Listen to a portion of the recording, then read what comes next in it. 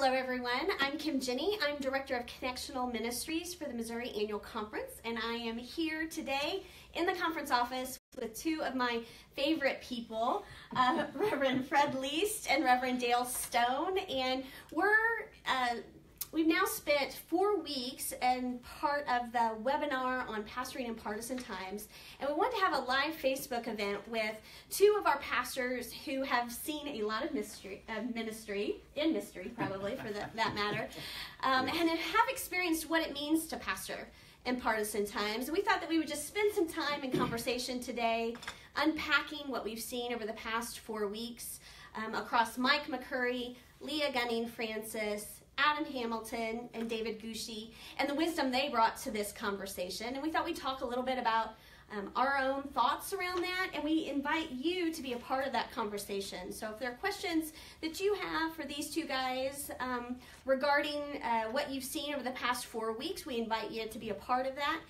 In addition, I just want to remind you that those webinars were recorded and are available on our website at moumethodist.org forward slash partisan times webinars. So you can watch any of the ones you may have missed. You can rewatch some ones that you appreciated. We've also included some resources that each week were referenced as part of those conversations. And so I hope you check that out and share perhaps with a friend who might find them to be helpful as they try to navigate uh, the waters that we find ourselves in in increasingly partisan times. And so maybe just as we start, the two of you could kind of share just a little bit about who you are, where you've served, what kind of churches you've served, just to kind of give those who don't know you a little bit of perspective. All right, thank you. Uh, I'm Dale Stone, and uh, I retired a year ago in uh, June of 2016 and was a pastor about 40 years and served mostly in small town rural congregations, uh, first in northwest Iowa and then in Missouri. And the last six years I served as superintendent of the Mark Twain District uh, in the Missouri Conference. All right, I'm Fred Leist. Uh, I've been in ministry, pastoral ministry, for about close to 40 years now. Um, served in the United Methodist Connection the last 25 years or so, um, southeast Missouri, uh, in Dexter, Sikeston, uh, then I went to uh, Kearney, Missouri, which is a suburb of Kansas City, served a church there, and then back to Southeast Missouri as Southeast District Superintendent for five years, and now I'm at Missouri United Methodist here in Columbia. Great. Well, you do have decades of experience, so I'm, but I'm going to refrain from calling you experts with regard to Please. Yeah.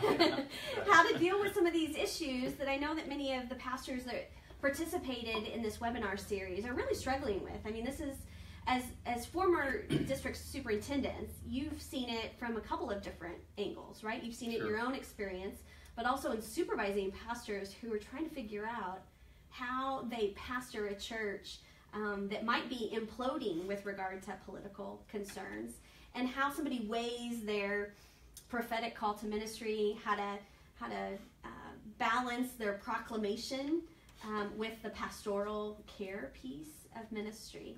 And so you've seen it from a couple of different ways. And so, um, having viewed these uh, four different perspectives, I just kind of wonder what your overall impressions were, what you thought of the series, anything struck you, anything surprised you?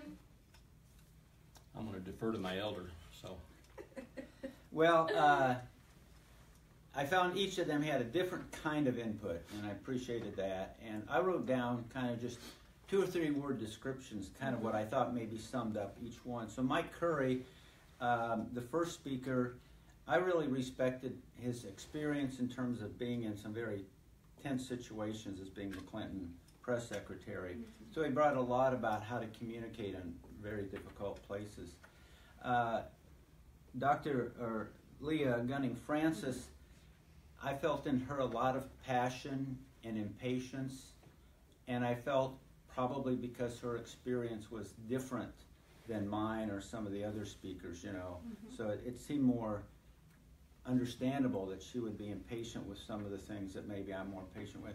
Um, Adam, I thought was very practical and realistic, and as we said earlier, I mean, I've heard Adam before. He's very well thought out, to the point. And then uh, David Gushee, I just I liked him because he made me think. I felt like he took me to the theory or the reasons behind how we do.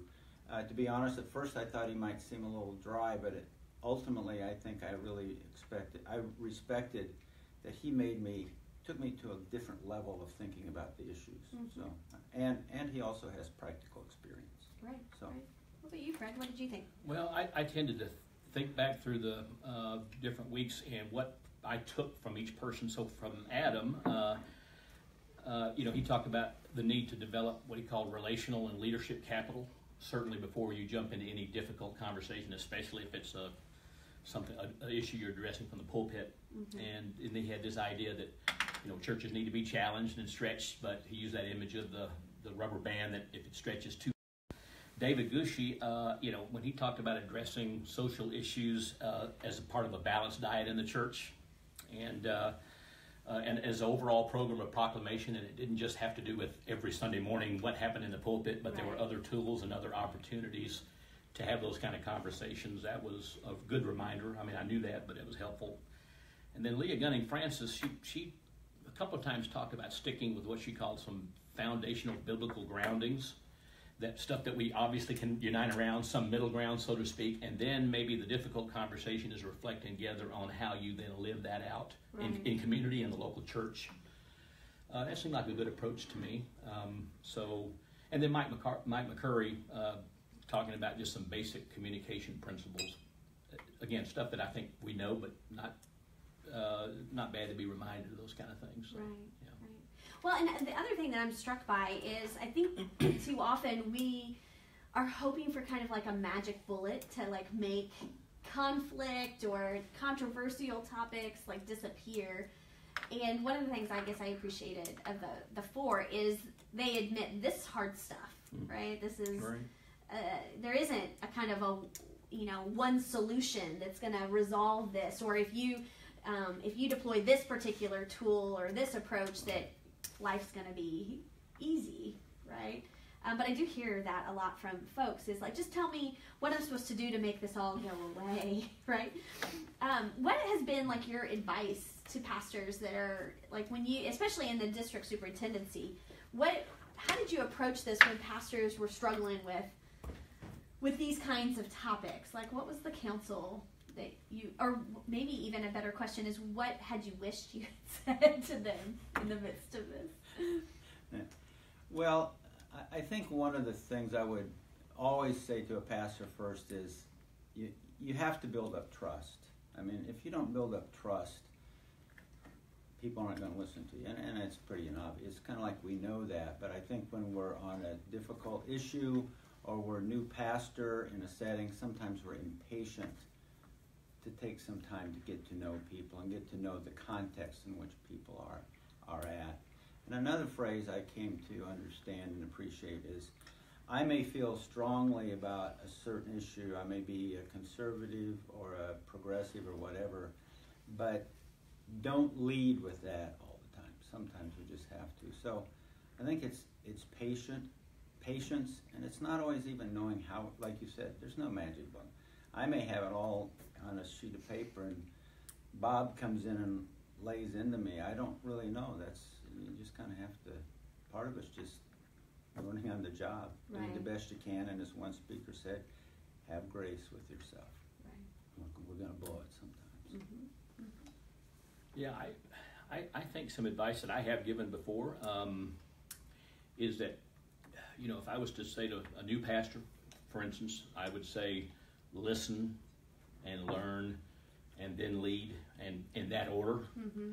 because I think it only happens in that order. Actually, it's hard to lead unless you've listened and learned. And so I'm, I'm in the process of learning about a new congregation I'm serving. Right. And um, I, I'm only five months in, and and I'm still learning a whole lot about the culture at Missouri United Methodist Church. Um, and learning that some assumptions you may have had about the church before I got there are maybe not true. Mm-hmm. Uh, and uh, it's I think it's just important for, for new any pastor, but certainly new pastors, to really know who the congregation is. I mean, really know who they are, hear their story, and listen first. Um, so um, that, that's probably the main thing I would say. You know, exegete the congregation. I mean, I know, I know we have to understand what's happening in the in, in the cultural you know surroundings, and uh, and we obviously ex, uh, exegete Scripture and know what Scripture says, but exegeting that congregation and knowing who they are um, critically important. So. Yeah, and I and I think that that's something we don't talk enough about, like whether it be at the seminary level or course study level, about uh, giving folks tools for how to do that community exegesis. If I think Jim Osher maybe came up with that that term, community exegesis. Um, but how do you read the context in, in which you're currently in? How have you guys approached that in the past when you've been appointed to a new place? Like, how do you learn your community? How do you how do you learn to, to figure out like in the way Adam approached it is he really spends a lot of time trying to figure out what the different sides are to an issue. So when you're when you're appointed to a new place, how have you gone about learning the community? What does that look like? Well, I'll, I'll, launch in first on this one, and give Dale time to think. Uh, since I've been doing that, um, you know, we started out at, at, uh, at, Missouri United Methodist with a series of uh, basically meet and greets, kind of get togethers, and um, I did a lot of listening and had some questions posed that kind of gave me a chance to uh, uh have folks lift up what they feel about their church and tell me who they are. And so I did a lot of listening. It also happens not just in group settings. I find that just listening carefully in conversation with people might be folks that drop into the office or folks that just, you know, in casual conversation, you hear, you, you get a sense of the ethos of the local church. So I honestly just, even if it's not, even if it's not in a formal setting, I try in every situation just to kind of listen a little deeply to hear what people are really saying about who they are so, you know, obviously there's some formal arrangements that happen when a new pastor usually comes in, right. but uh, listening to stories and just uh, hearing people describe who they think they are, and you know, sometimes you find out. I'm finding out that sometimes churches are a lot better about remembering who they were hmm. than really understanding who they are. So you may be hearing when you listen to everybody some reflections about where the church really is at and who they really are, and you might can reflect back to them too a little bit about uh, some misconceptions they may have even about who they are. Right. But anyway, that's how I do it, just in conversation with folks. Mm-hmm. And how do, but when we get to like controversial topics, or mm-hmm. when you start to like wade into the waters of like at least trying to figure out the history of a particular community, whether it's they have a history of redlining around you know neighborhoods or some of the kind of the systems of oppression that communities tend to create like how do you how do you start to figure out like where people might be on a particular issue. I mean, today's church we have um, gun violence is a is a you know hot topic right now, especially in light of what happened in Texas. And um, you know, where do you, where do you start to figure out, um, especially if Scripture is calling you to take a stance on something, where your folks are? I think one place is you just you just visit with people. I mean, I always appreciated going to people's homes when I could because I felt like then I was on their territory. Mm-hmm. So I, I, think that often opened up a conversation, or maybe to a restaurant, but off a church property. Um, I was going to say earlier, I think when you're new at a church, that you want to let them know you want to be there. Mm-hmm. I, people are very quick to pick up if a pastor's really not wanting to be there, and how that opens up communication. I think in Sunday, frank, frankly, Bible study, Sunday school, you're going to hear where some of the church is. You don't have to ask where are you on gun violence. It's just going to come up in conversations.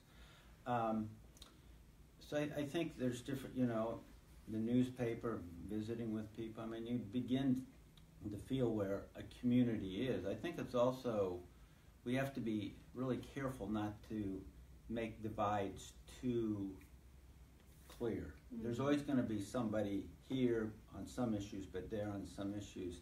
And in some some of the conversation and the questions that came up, it seemed like it was, I don't want to overstate it, it was like, we're here and they're here. I think yeah. those are two final lines to, to really be beneficial, and they're probably not accurate. Yeah. Um, there's people who are, even in a smaller church, there's more variety if we take the time to listen. Um, in terms of if you feel called to speak to it, um, I don't know if this sounds like a cop out, but it takes time to discern that. And most of these topics did not come up overnight. You know, somebody said, you know, when I was a, a new superintendent, when somebody calls up and says, we need to have this meeting today because our pastor's driving us nuts or something, remember that's probably been brewing for three months. Mhm. So a lot of these issues have been taking some time. So I may be passionate.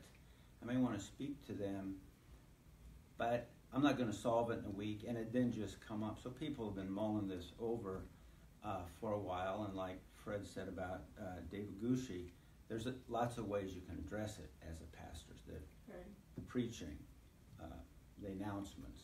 I liked how David Gushee kind of said he reclaimed the role of the pastoral prayer, not to preach, but to help people reflect on love and compassion. And so I think those are other ways you can do it without just pushing it over too quick. Yeah, I, for I, me, that's yeah, not like I think yeah. of Dr. Uh, Francis. I think she'd be impatient with that kind of stand. Yeah. And you know, per, you know, some people may be called specifically to prophecy, right? Right. Um, and as I think we joked, I think it might have been during the conversation with Adam. You know, most prophets didn't live with the community, right? Right. We need prophets as a healthy part of kind of the body of Christ. Um, but when those of us that have been called to pastoral ministry, prophecy is one piece of it, right? So I kind of appreciated the combination of that ba- that balanced diet approach. I think that that's really a helpful understanding. And as I reflect back on the past year, have I been in, you know, imbalanced or balanced? Um, and I think every year, you know, I, I think a, a week, a month, it's probably too short of a period of time to kind of really assess that. But we start to look back over a season in the life of the church or a year in the life of the church. That's helpful Yeah, I think you're right. right Yeah. up against like what adam said about the capital like the investing in people and getting to know them and he had kind of a really long um, view now he's been in his congregation for a really long time right um, so he kind of said i you know i don't think i could be preaching some of the sermons i'm preaching now in that first five years of being Mhm. appointed here right i didn't Right. have that trust built up Right. um, I think for the Methodist itinerant pastor, that's sometimes hard to figure out. Do I have enough capital built up? How do how do you know when you have trust? What kind of Hmm. signs do you see? Well, oh, go ahead. No, go ahead. Uh, well, I was just, I was trying to. How do you know? I don't know if I have a technique. I think somehow you you begin to feel it. But what I was thinking in, in every community that I've been at, I think most people would know that after a few years, I would be involved in one of the political parties, or I would be uh, involved in some group that worked on racial issues, and. Um, so I guess I think, you know, I, I believed if people knew I was their pastor and I cared about them, that then I could be involved in these ways, but I didn't get up in the pulpit and say, here's what you should be doing. Um, so I guess I probably, in somewhat an answer to your question, I think when I began to feel that trust and I felt freer to get involved in a, in a political party, and people would know that or involved. So I don't know exactly if there's a way I felt trusted, but I just risk, if you will, going, okay, now I want to live out this part of me, which isn't necessarily the pastoral role, but I want to be involved in a party or I want to be involved in this issue.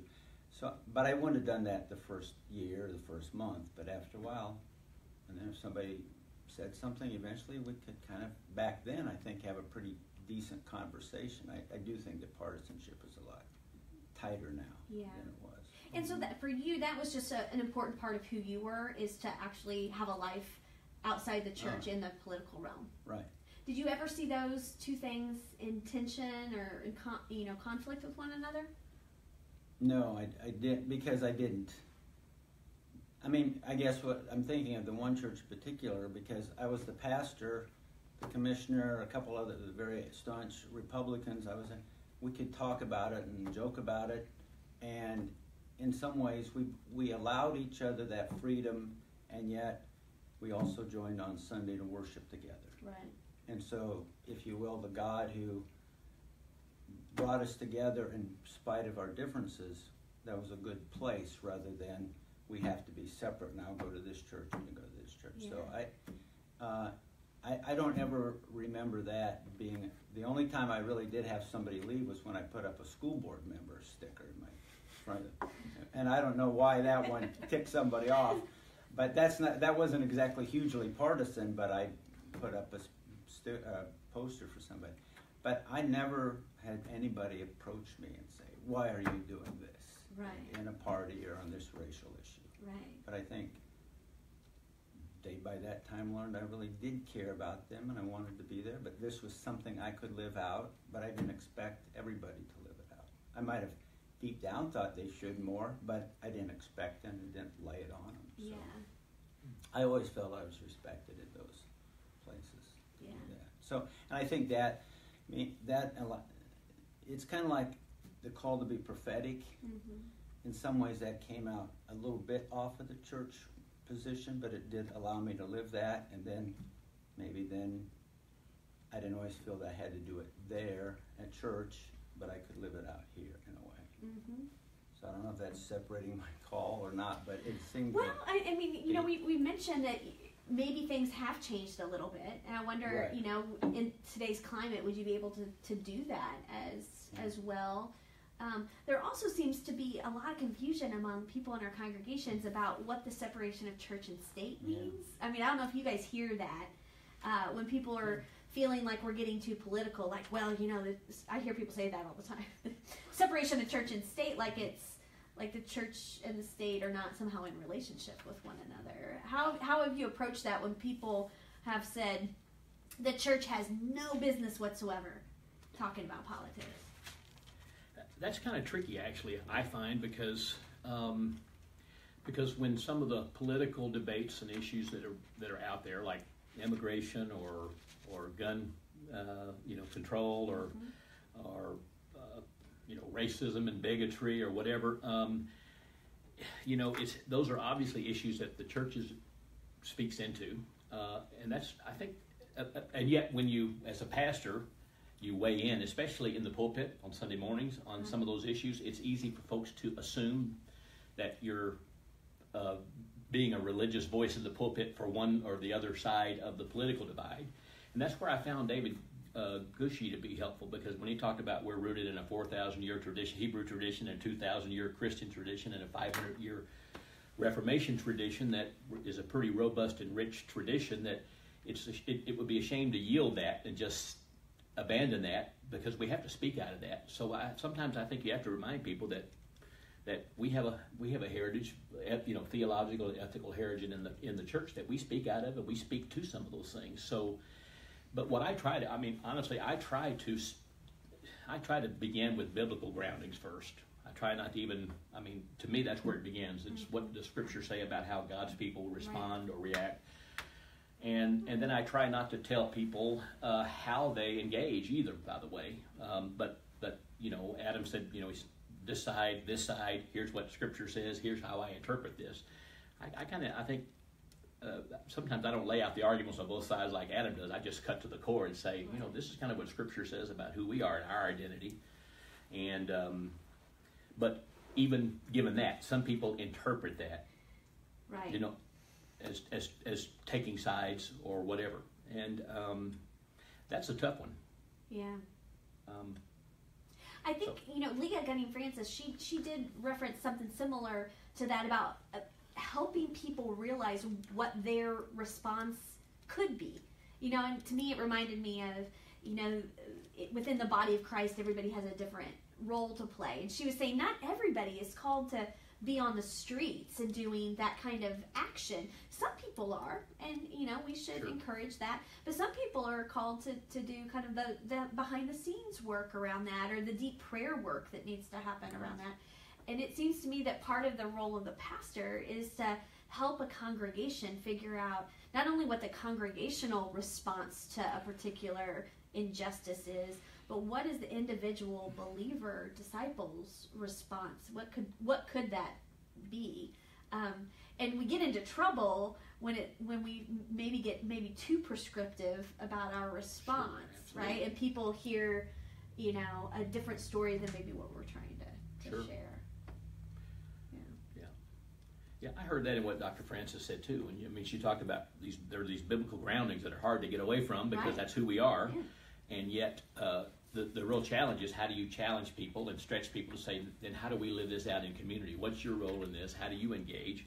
I do find as a pastor, it's very, it's, it's just, it's not my style to tell anybody what they have to do. I mean, there's some people that like to march and protest, and some people like to write letters and, and uh, you know, in a personal way, lobby their congressman and talk to their congressmen uh, or women. Uh, other folks like to have conversations with, with other people, and they think that it's better off if they have more and better conversations with people and try to you know quietly learn and maybe even impact somebody else's life through conversation. But everybody does that a little differently. I think we are wired differently Yeah. in the way we engage, and I do find it's troubling to be prescriptive about what someone has to do and how they have to engage. Right. And it seems like it makes the work uh, hard, really, really hard to figure out what the communal response is.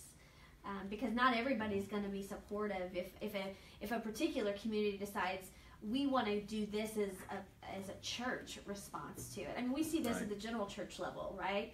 Sure. You know, we have a, an entire general agency, church and society, that by their very um, kind of chartering is to be a, a religious and a faithful voice on Capitol Hill, right? Like that's their Sure. their chartering. Like the people that created them, our early you know brothers and sisters said, you know, that's what they exist to be.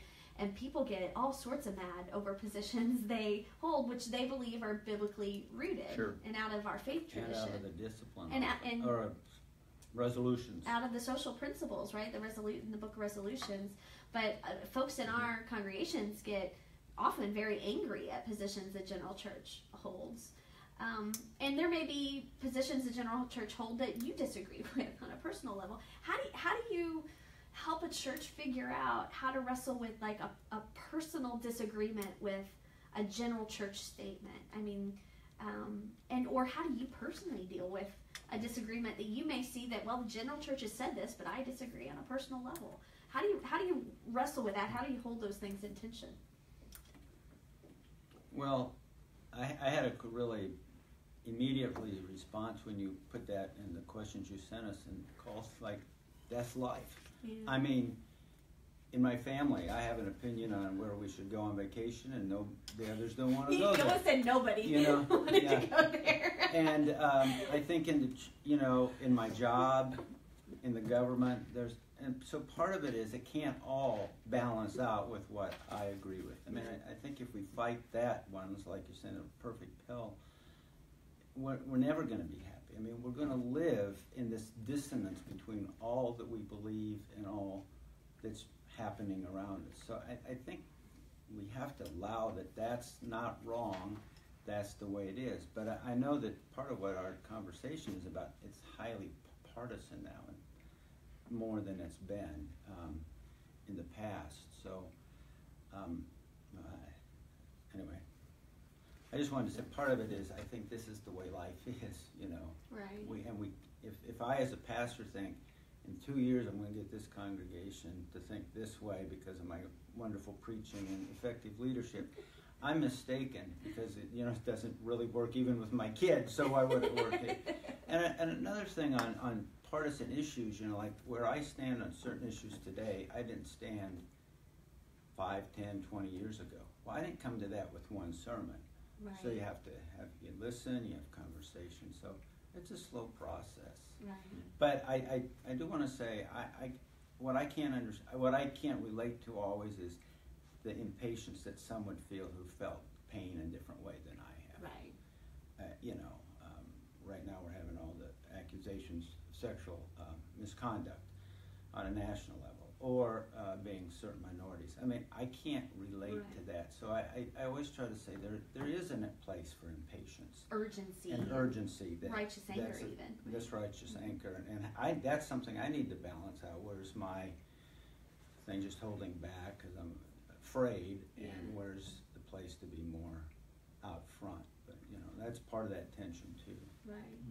I used to tell people in um, kind of the the small group conversations or, around people that want to be committed to the community that you're not gonna you're not gonna agree with everything that's said here. But if you find yourself in a place where you agree with everything the a particular community is saying and doing, that you probably have wandered into a cult of some kind rather than Yeah. a church, right? Not that I came out of a cult because I didn't, but uh, but I was my, the first 15 years of my pastoral ministry was in a, a small holiness denomination where um, it was pretty much expected that there was uniformity of uh, teaching and opinions, and it was expected pretty much of clergy. In fact, it would have been it would have been pretty threatening to your ministry if you weren't pretty much consistent with denominational teaching and that kind of thing. And coming to the Methodist Church was kind of a refreshing thing for me because, you know, at, least in our, we are a big tent. There's there's a broad spectrum of belief in the uh, or opinions in the Methodist Church. Probably mirrors the divide in the country about as close as any denomination. And so, at least coming to the Methodist Church, I found that uh, that we could agree to disagree about things. We could see things differently, and uh, and still stay at the table. I was actually amazed when I first came to the Methodist Church that people could actually sit in a Sunday school class and have totally divergent opinions on something, Yeah. and be in communion with each other, and and still because that really was not too common where I came from before. Now I know that if you would just scratch just beneath the surface of any of those folks in Right. that pre- my previous denominational experience, there were differences of opinion, but the difference is we weren't free to say it. Yeah. So there's something freeing about that. So I mean, and even if somebody, I, we know that there are folks in the pews that don't agree with every uh, institutional statement made by the Methodist Church. Um, but that's the beauty of I think our connection is that we can we have been able to stay together. Let's hope that hope that continues. You know. Right, right. One of the things that I brought up to, to our speakers is this, um, and some understood it better than others, our appointive system. Yeah. And, and that we, as part of the United Methodist tradition, um, the bishop, together in consultation with the cabinet and with our local churches, sends people and appoints people to communities. Um, and we hope that there is a good fit there, right? We, we look at gifts and, and um, talents and the needs of the particular community to make those matches. And um, sometimes we have pastors who feel that they have been placed in a community that's really difficult to love because they're different than they are. They're different than they are politically or theologically, right? Intellectually, in some ways, it's just around the privileges of what kind of educational attainment they've had, or socioeconomically. And it makes pastoring sometimes hard, at least from what I hear these pastors talk about. And I ran across an article that Lovett Weems had had written recently in his his retirement for Lewis Center, and he was reflecting um, upon a phrase that Martin Niemöller used: um, "The people God has given us." And and Lovett went on to say that this concept helped him better understand leadership, saying leadership is always about a group and never about the leader. The group may be a ball team, a choir, a congregation, or a nation. For religious leaders, the beginning point is always with the people of God given us and not with us. And I thought, wow, you know, that's spoken like a, an itinerant Mhm. preacher who understands that sometimes you are sent to a place. And, you know, love it or hate it, that is the gift of the United Methodist uh, Church, right? Um, and Most of us have done both. Uh, Loved yeah. it and hated it. we loved it and hated it and, and but we learn in in all of those situations i wonder because one of the things that i hear from some of our pastors is is just this tension of like i i never asked for this congregation or i wouldn't have ever chosen this congregation and therefore find it very difficult to do pastoral ministry in that setting. Um, as opposed to maybe a call system right where there's a lot of conversations and a lot of interviews and this congregation knows they're getting a conservative or a liberal or whatever those labels even mean anymore right um, they know what they're getting and so therefore it's supposedly a match made in heaven um, Yeah. which we know that's not always the case either, right? So I guess I'm wondering is how how do you wrestle with um, a, how do you fall in love with a congregation? I guess is the is the point of the question. How do you fall in love with a group of people that Hmm. the people of God sent to us? Well, I, I think we do have to admit some appointments just don't work Mhm. and it's not. I, I wouldn't say it's a person's fault or a congreg. It, they just don't work out, and you know that's even in the call system. You know, two years and you're fired or something like that. Right. But but I think part of me thinks we have to be open to be surprised in people that we're learning to love, you know, and that we can also love people that, on first glance, we may think, oh, they're really different than us, um, and they might teach us or surprise us something about love. I mean, it sounds a little Pollyannish, but I think there's something to the fact that we have to open ourselves up in the appointive system or as Christians to say somebody else may have a key to the scripture that I don't really have or I need to grow. Mm. So how do we learn to love them is we value their tradition and their experience. We may not like it if you will, but they came to where they are because of their own faith journey and to come in and immediately go, Well, I can't love these people is kinda like saying, Well, mine's more authentic than yours or mine's more realistic. I, I try to be brief. One of my favorite stories, and I hope I'm giving credit to the right person, is Kathleen Norris, the writer from Right. Dakota, who um, I remember reading somewhere, and I hope it's her material, that she went to this little Presbyterian church in South Dakota, and this guy came up and they argued all the time because he didn't agree with that, and he was a rancher. And then one Sunday she joined, and um, he came up to her and said, I'm glad you're in the body of Christ. And she said, I knew I wanted to be here. And I always, that's always meant a lot to me because I think it means both of them had to move. Yeah. And that's the body of Christ, not all of us thinking like Kathleen Norris or all of us thinking like this person. This is really the body of Christ. And I, I, I came up in a little more conservative church, but sometimes when I visited, this is my prejudice, a church that's full of a lot of progressive people, actually it gets boring in a hurry, Mm. in some ways. Yeah. The, the diversity, I think, is more stimulating to my Right. thinking than, it sounds nice to all be thinking the same way. It, it is Although almost it's seems like probably a like- It's and I- almost like church. Probably some of the nastiest fights happen with people who all think alike. You know, Yeah. but so I always remember that story. As I think it's meant a lot to me over the years. This is really the church. Is when we go. I don't like Bob's theology, but you know, that's the body of Christ, not me. I don't. I don't define it. Christ defines it, which is Mm-hmm. bigger than me. I was listening to a colleague's blog, basically a Facebook blog, uh, the other day, and he was talking about uh, how to converse civilly. But he made the comment that um, that we converse differently, we talk differently with people we know and understand and love than we do with people we don't know and understand and love. And so he, he just had a very practical suggestion. He said maybe we ought to begin every difficult conversation by talking about our kids and grandkids. And by the way, Dale has pictures of his granddaughter.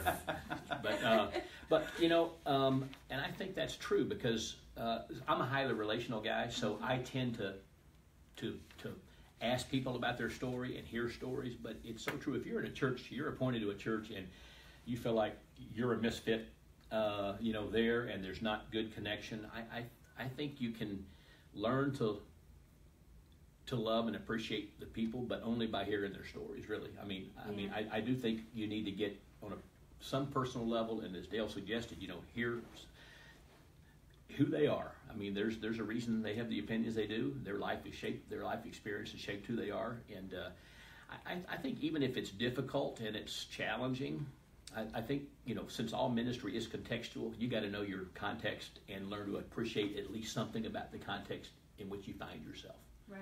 because we are sent. We're not, you know, Yeah. we're we're sent. The bishop, I've heard, you know, at Right Start every year, the bishops say you're sent, and find a way to find a way to to figure out the context that you're in, and and love the folks and serve together. Yeah. You know, I, I, remember one of my mentors, you know, said that one of that is the primary work of, of being appointed to a place is figuring out how you can how you can love that group of mm. people, and you really can't love someone until you know them, right? And Sure. in order to know someone, you have to be willing to actually spend the, the time with them to get to know. I remember a gentleman that he and I probably disagreed completely on almost every political, maybe some social issues. Even I thought, he, well, he surely just he was almost too, it was almost a caricature that he was so opposite of me and everything.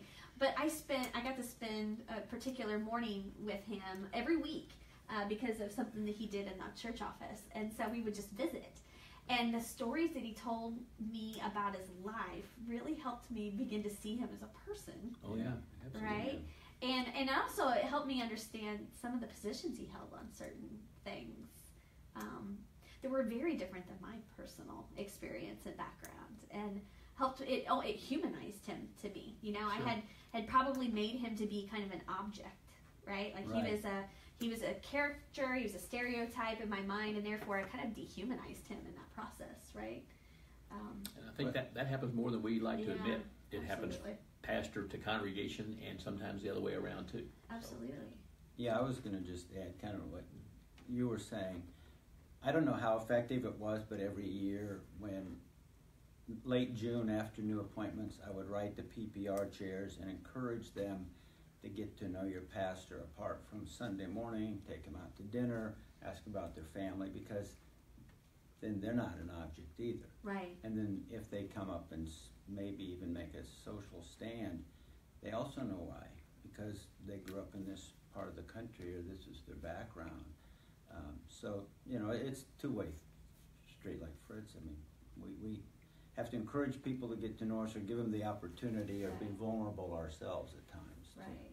to, show who I we mean, are. and if I think there, it seems like more now than ever, like we have an opportunity as the church to kind of model a different way of being. Because right now, if you just if you watch the news, if you look at the media, there's a whole lot of othering and objectifying the uh, whatever the other side is of any particular issue. There's not a whole lot of um, crossing the aisle, getting to know perspectives or What I, I have I've given sermons on this before, but I really think what's not heard is the church teaching its language to the world. And our language is not only about certain things. Our language is uh, what you don't hear is love, respect, forgiveness.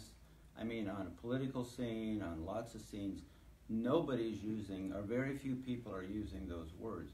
But I'm, I'm kind of afraid that the church is kind of silent now too. And we're not saying, hey, part of the discussion is how do we love our, our neighbor? And I heard a sermon one time where a guy said, a person said, and it's true, he says, here's a, I don't know if maybe it was after uh, some event that killed some people in America, but we're also struck by the fact that Jesus says, love your enemy.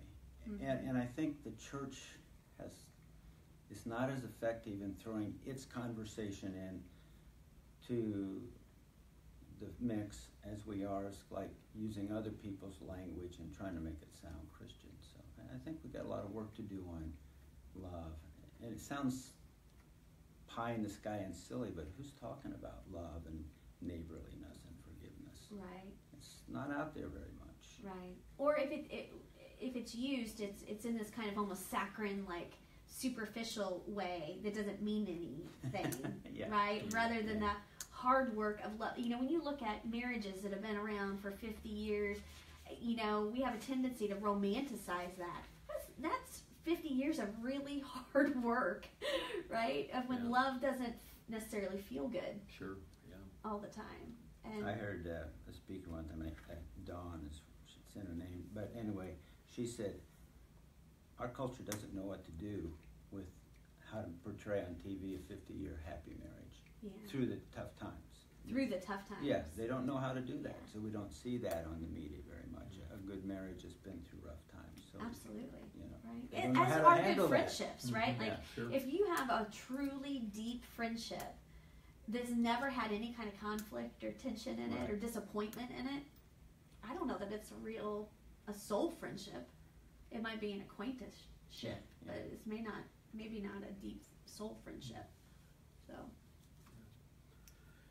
Well, One of the things that uh, sort of related to this, when David uh, Gushee talked about, um, you know, you, you got the sense that he kind of was wearied a little bit about Yes. the political divide and I think he And seems exhausted, exhausted quite about that. honestly. Uh, you know, I, I shared it. I shared at Mumsy, at least in one of the services, maybe several services, pre pre service comments that I that I weary of this whole thing about you know the left and the right. It, it's Right. It, and and uh, and it, it, even in, in the church and in the, in the political world, but. Um, I, I guess I find myself longing for truly an ethic uh, of Jesus. Just, I mean, because you know, Jesus, to me, very often, most often, uh, you know, kind of cuts through the middle of some of this. I mean, there's a Christian ethic that seems to be sometimes not consistent with any political party or or you know left or the right or conservative theological or liberal. It's just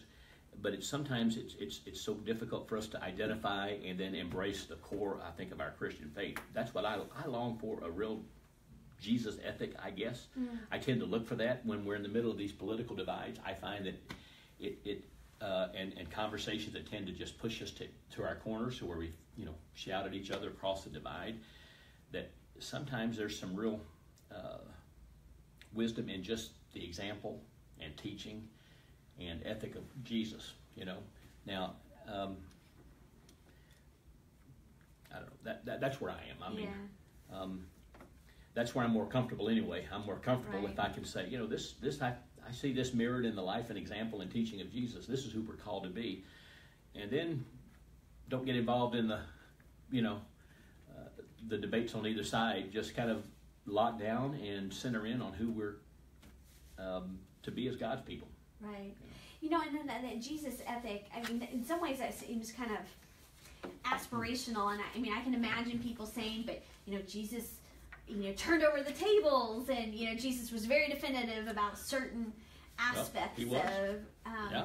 right? And I, I think that that's maybe where, especially some of our clergy that are maybe just starting out, pastors are trying to figure out how to navigate these places and, and and can't really figure out like where are you supposed to draw the line like what are the things what are the essentials with like th- this is central or essential to who a christian is uh, versus things that are you know op- opinions or even stronger than that just like preferences of maybe the world we'd like to see like um, and i'm sure that you've all had ex- you both have had experiences with people who despite your best efforts despite trying to demonstrate that you love them no matter where they are. They're just like, I'm out of here. Like I can't, you know, I, you know, what you're serving, I'm just, I just can't swallow sure. anymore. How do you deal with that? Because I think that that for most pastors I know, that eats them alive. Like they, it just tears them up, and the emotional pain of losing hmm. folks mm. is so much. It almost paralyzes people. I think most of the speakers said that we all take it personally, no matter what the latest book we read or how much counseling we've had. It's like we take it personally, even though we, in our head, maybe don't think we should. Um, I remember when we had some kind of controversy at a church and a family left, and you know, I was laying awake at night and all this kind of stuff, and and a retired doctor came in, and it's one of the lessons I, I value from Dr. Ferguson. He he was beloved in the community Mm-hmm. He came and he's a physician. He says, you know what? Every once in a while, somebody comes in and says, Dr. Ferguson, I can't stand you anymore. I'm leaving. And I, he says, it happens to us, no matter what we do. I mean, I thought the community worshiped the ground he walked on, you know? And I always remember that, that sometimes there's nothing we can do. Right. Um, and my wife often reminded me, and I don't, I don't think it's a cop Sometimes people want to leave or be angry and they need something to hang it on. So it's the choir, the, the topic, and really what the kind of maybe saying at this point in my life, I'm ready for something else. Mm-hmm. But it's hard to say, look at all your friends, I'm just leaving the church. So I, I, I think sometimes we can't stop it. But that doesn't mean I wouldn't lay awake. But, um, and sometimes I also had somebody come in, and, and again, you don't want this to happen in a way, but somebody says, it's okay. This person came to our church angry at another church. They'll be there a while. So it's, it's really not a cop out, but it's also reality check that it's not all about us, and it's not even always all about the topic. Right. It's about life. Maybe they, their husbands and them are unhappy. I don't know what it is, but um, so sometimes we, when we personalize it, it becomes about us or my latest sermon. Sometimes it's just life. Right. You know, um, and I think even in partisan times, people can say, "Well, it's the sermon you gave." Well, it might still be. Mm-hmm. Yeah, sometimes it seems like people on their way out can can throw a jab. Yeah. It Yeah. seems kind of unnecessary, you know. Um, that makes it more, per, you know, that it's hard to avoid. Like it was because of you, you know, or that sermon you preached. Well, and, and something else you said, um, I'm a big believer, because I've done several, in pastors doing sabbaticals and time away. I think that's one place where you get yourself focused. It's not about you or how do I separate my call from, is we, if we don't get away and give our soul attention, our care, self-care, then we are tired. And I think just, that's when we may say something we wish we hadn't, or we, we, but, but I, I would tell PPR chairs, you know, give your pastor time off. And the truth is, sometimes pastors were their own worst enemies. Mm. They were the ones who felt like the church would fold up if they weren't on duty six or seven days a week. And I don't think the churches un- feel that necessarily.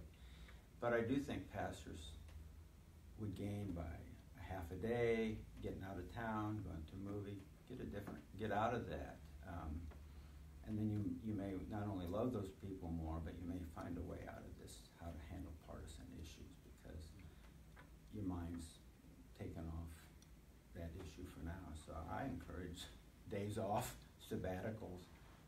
I we need it. I, I grew up on a farm. It took me 25 years to realize ministry's hard work, but it's not the same as hauling hay and doing Right. corn. It's, but it's a different kind of hard work. Yeah. And we do need to mm-hmm. to we it is hard now. It is very hard. We we often want to say something and we don't know whether we should. And that that's takes a lot of energy Yeah. to decide how to do that. What what advice would you guys have for clergy who are scared, who are who, who are scared or fearful to say something, sh- least they turn people away, or it, wondering if it's the right thing, especially in our current environment? Like, what advice do you have for pastors who are who are fearful? I wonder I'm talking too No, much. I'm wondering sometimes if if we really feel that if we ought to test it Hmm. with our PPR chair. Okay. or a trusted church member, rather than wrestle with and say, "I've got to say this," and then say it. And you know, if if we hopefully have some, one or two people we trust in the church to say, "And I'm feeling like addressing this. What, what what's your feedback?" They may have a helpful hint. Um, that would be one thing. Um, and, and one of the words I've been thinking about a lot here is conscience. And sometimes conscience does make us do things even at a risk. And I think we have to live with our conscience. You know, what can I, what can I live with? And uh, Hmm. you know, I, I knew a, a seminary colleague who was very, and he was in a UCC church. He was terribly unhappy with it. Well, he made a conscious decision to get another denomination, Mm-hmm. and you have to respect him. Yeah. Did I think the denomination he went to was great? No. But why sit and be angry and bitter for your 30 Right. years? So I think, I feel like I'm a person who has heavy duty of conscience. And so Mhm. sometimes you just have to do it and see what happens. You know, I recently revisited um, John Wesley's sermon, which is called On Conscience, Hmm. where he talks about the role of our conscience. Um, not in that sermon, but in, in other places, he talks about um, that we're not called to like a blind obedience, um, but a discerning obedience. Uh, discerning is not exactly his word, but the sense of you have to kind of you have to kind of make sure that the the experience of the Holy Spirit working within you aligns with these other places. Um, otherwise, you perpetuate systems like slavery, which is throughout Scripture, right? Like that. That's the place of the conscience to say this isn't this isn't right, and you have to figure out how to how to wrestle with it. What I worry about is sometimes we're not willing to deal with the consequences of our decisions. I was just going to say, what, Yeah. if you act unconscious, Yeah. then you have to give some thought. How are you willing to deal? I, I remember in the 60s, I'm talking about before great things of civil disobedience, Dr. King and others would tell people, here's what might happen. You might get beat, you might. Now, this is civil disobedience, so you have to think about the consequence. Um, and I I think that's when somebody's really pushed to their conscious, they may say it, but they have to not go, gee, I didn't think anybody'd be upset upset, or Right. I thought, you know, they have to be ready uh, if folks really, really push back. Right. If you're at, if you're that driven by your conscience, Mhm. but even to the point of job security, right? And I think that that's Exactly. the thing that, Sure. that most people don't don't always think through. That some some of the stances we may take, and they may be biblically grounded, um, and absolutely the most faithful response we can do. It, it could mean that job security is is at risk. Um, but even that's a faithful act, right? To to trust whether or not you know God will provide even in the moments of you know. at risk. you know, my default is my default is tends to be a little safer default. And what I mean by that is I I, I tend to um, Adam Hamilton when he said you got to ask yourself if you do have your conscience tells you to speak to something at the same time ask yourself the question what's what's your goal Right. is it is it irritation and agitation or is it transformation and if it is transformation i mean Yeah. it doesn't do good to shout at strangers or people that disagree with you anyway or, or Right. make a proclamation if you're not changing them so for me when i use my default is generally i am interested in transformation uh, in, in seeing people come together and seeing you know minds and hearts changed so that sometimes for me means that I that sometimes means that I have it, it changes the tenor of the conversation. It ch- changes what I say, maybe even when I say it, in the setting in which I say it. I, I, I find that, to be honest, an 8, 15, 20 minute sermon on Sunday morning to a lot of people feels not very dialogical at all. Right, Because right. it's so easy to be perceived in that setting as making a proclamation and then they have to deal with it by golly. Yeah. But what happens is if somebody disagrees with you, they deal with it all right. They show up at your office the next day, which I've had that, you know.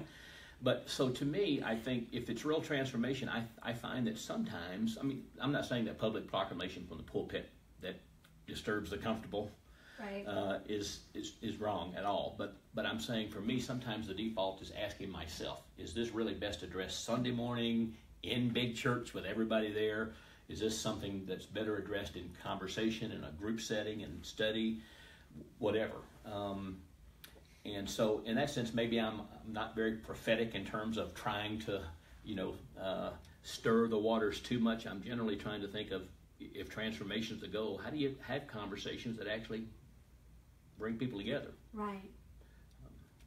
Well, we did we did hear that quite a bit because I asked the question as somebody who, um, you know, thinks about communication a lot, realizing the full platform that we have at our fingertips is not just that twenty to thirty five minute Right. sermon moment, which is a monologue for the most part. I think some of our pastors may be doing some innovative things there that makes it more dialogical um, and allows for feedback. For the vast majority of Methodist pastors in Missouri that I've seen, it's a 25 minute speech, right? Where there's not Sure. a lot of room for people to provide feedback other than their strong or kind of um, milk toast reaction Sure. to it. Um, and I would agree, like trying to find other places for the simple sake of transformation, if that's what we're called to do. Right. That that that sermon moment, that proclamation aspect is not always the most transformative opportunity. So. Um, guys, we just have a couple more minutes, and besides my mom responding on Facebook, which of course, you know, your mom's gotta, you know, pay attention. I don't see a lot of yeah. Say hi to my mom. Um, a lot of uh, comments, um, and I think our conversation has been been great. Is there anything else that you would want to kind of offer up to pastors who are kind of wading in on these uh, kind of into these waters? Any advice that you'd give? Um, from your decades of experience doing this, doing this work, any thoughts that you would share with them? One of the speakers I thought said, I think we do need to remember to give ourselves grace. Even if we blow it, we lose a job or something. I mean, we're loved by God, and we, we can mess up in lots of ways on earth. Right. We can mess up in our marriage, we can mess up with our health care, we can mess up. So it doesn't mean we're a bad persons. I think we need to remember that. It, and it's scary stuff. I mean, it is Mm. scary. Some of this is scary stuff. And uh, um, I just mentioned to Fred at lunch, I read a book about history of the Methodist Church in Nebraska 100 years ago.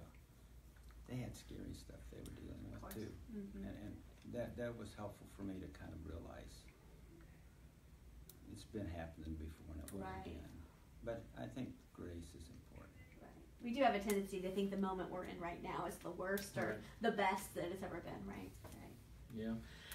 To be honest, I don't have a whole lot of advice to give out. I think I see pastors doing a much better job, maybe than I'm doing, balancing this uh, rather than the other way around. But um, but it, it, I do think that centering in on relational capital and no, getting that that one piece is hugely important. No matter whether you're a new pastor or been there for a while, investing in relationships and then understanding your context uh, before you decide to do, or as you are doing whatever you're doing in proclamation and pushing, especially in difficult conversations in these kind of divided times, that it's it's a no-brainer to focus on relationships, lead relationally, preach relationally, and uh, and know who you're know the context that you're in. That's that's kind of bottom line for me. But I think most people know that, but sometimes we forget to We do. exercise that. Which know. reminds me that you know part of the critical piece of this, and I think um, at least a couple of our, our the pastors on our panels um, or discussions said